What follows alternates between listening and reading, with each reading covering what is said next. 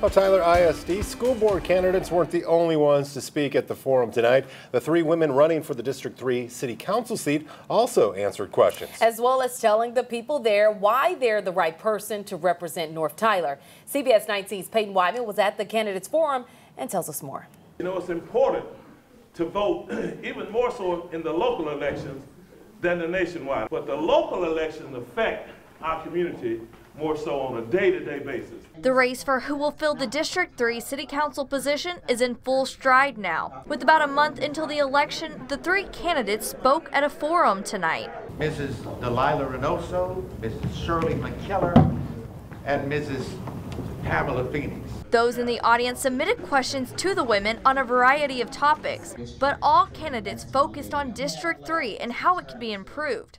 Delilah Reynoso talked about wanting to have better communication to help the people of District 3. My hope and my desires is to represent, be a voice, be a champion, be an advocate for my district. Then that means we gotta have to be out there knocking on doors. It saddens my heart when I've knocked on more than close to 100 doors in the past two weeks, and they've said, Delilah, I've never had anyone come and knock on my door. Shirley McKellar spoke about her knowledge of the area and how to help it flourish. In North Tyler, I owned an early childhood education school for 20 years, employed hundreds of people. I owned a nursing service.